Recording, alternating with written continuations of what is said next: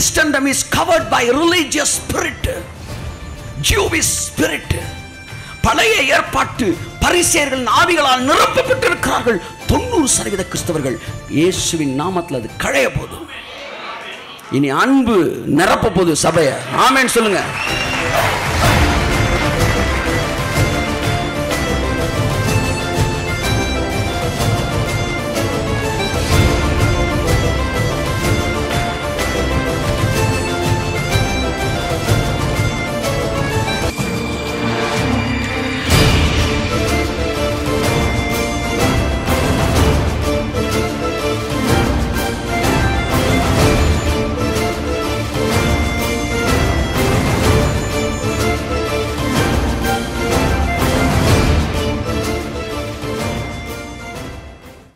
நான் அதை அடிக்கடி யோசித்தேன் ஏசு கிறிஸ்து கடைசியாக ஒன்று சொன்னார் சொன்னார்ல நான் உன்னை மன்னிச்சிட்டேம்மா நீ போ. இனிமேல் பாவம் செய்யாத. ம்? இதுவரைக்கும் ஏற்றுக்கிட்டேன் இந்த இடத்துல நம்மளாக இருந்தால் டயலாக் எப்படி எழுதியிருப்போம் சொல்லுங்கள் நீங்கள் மன்னிச்சிட்டீங்க. ஒரு பையனை வீட்டு பாடலில் மன்னிச்சிட்டீங்க. என்ன சொல்லி மன்னிப்பீங்க? இதுதான் லாஸ்ட்டு அடுத்த தடவை சிக்குனா அவங்க எரிய மாட்டாங்க. நானே எறிவேன். சொல்லியிருப்பீங்களா? இதுதான் இவங்க கொடுக்குற மன்னிப்பு. ஆனால் தேவன் தர்ற மன்னிப்பு அது கிடையாது. மன்னிப்பு முடியும் போது கமாண்ட்மெண்ட்ல முடியல இன்ஸ்ட்ரக்ஷன்ல முடியுது. கையத்தட்டு இன்ஸ்ட்ரக்ஷன் வேற கட்டளை வேற. கட்டளை தவறினால் தண்டனை மறுபடி இருக்கிறது. ஆனால் நீங்கள் மன்னிப்பு நிரந்தரமாக்கப்பட்டிருக்கிறது. ஆனால் அங்கே ஒரு இன்ஸ்ட்ரக்ஷன் உங்களுக்கு கொடுக்கப்படுகிறது.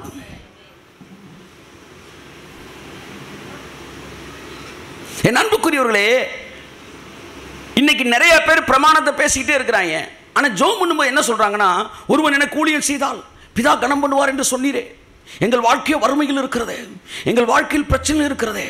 ஆண்டவரே எங்களை ஏன் நீங்கள் கணம் பண்ணவில்லை? அவர் சொன்னார் நீ எனக்கு ஊழியம் பண்ணவே இல்லையேப்பா நீ மோசைக்கு தானே ஊழியம் பண்ணியிருந்த நீ பேசினதெல்லாம் பழைய ஏற்பாட்டில் எவன்லாம் வாங்கப்பட்டான் எவன் மிதிப்பட்டான் நீ மோசைட்ட போ இன்டர்வியூ எல்லாம் ஒன்று செலக்ட் பண்ணிக்கோ. ஆனால் ஒன்று அவனும் உள்ளே போக மாட்டான் நீயும் போக மாட்ட. ஒருவன் எனக்கு ஊழியம் செய்தால் நான் ஒளியாயிருக்கிறேன். ஒளி என்றால் இரக்கம் ஒளி என்றால் அன்பு. ஒன்னியவன் முதல் அதிகாரம் வாசிங்க. தன் சகோதரை நேசிக்கிற எவனும் ஒளிகளே இருந்து ஒளிகளே நடக்கிறான். சபை இன்றைக்கு மதவாத ஆவியினால் மூடப்பட்டிருக்கிறது.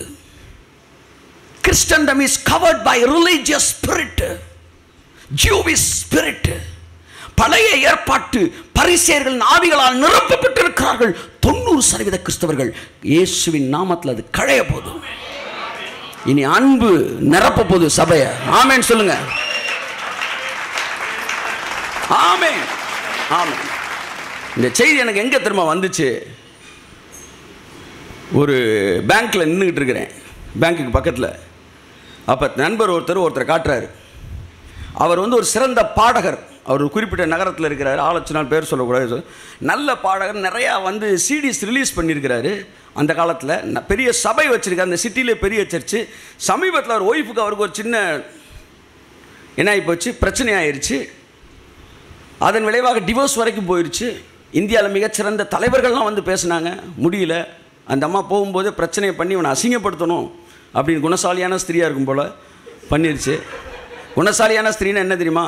அவன் புருஷன் தேசத்து மூப்பர்களோடு மரியாதையோடு உட்கார்ந்துருப்பான். அவனை மரியாதை குலையாமல் உட்கார வைக்கிறா பாருங்க.